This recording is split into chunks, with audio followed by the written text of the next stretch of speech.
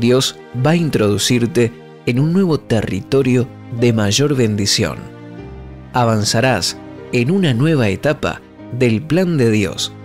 Cambios vienen, nuevas rutinas, una mayor visión, un gran y nuevo horizonte se te abre hoy. Génesis capítulo 12 versículo 1 y 2 dice, El Señor le había dicho a Abraham, deja tu patria y a tus parientes y a la familia de tu padre, y vete a la tierra que yo te mostraré. Haré de ti una gran nación, te bendeciré y te haré famoso, y serás una bendición para otros. Un gran cambio era necesario en la vida de Abraham. Debía dejar lo hasta ahora conocido, su rutina, sus parientes, su pueblo natal y sus costumbres, para encaminarse a la nueva tierra. Muchas veces estamos esperando que algo nuevo suceda.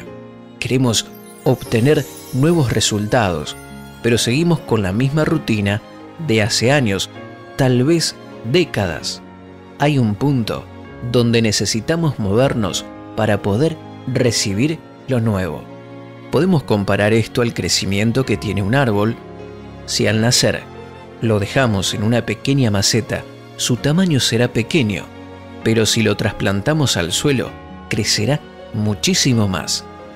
De alguna forma, nuestro crecimiento depende de la maceta, es decir, de las costumbres, la rutina y la gente que nos rodea.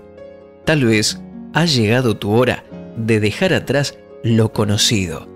Debes moverte, mirar nuevos horizontes, expandirte, ampliar tu visión y modificar tus rutinas. Un nuevo territorio de bendición te espera. Hagamos esta oración. Padre, unge mi vida para este nuevo tiempo.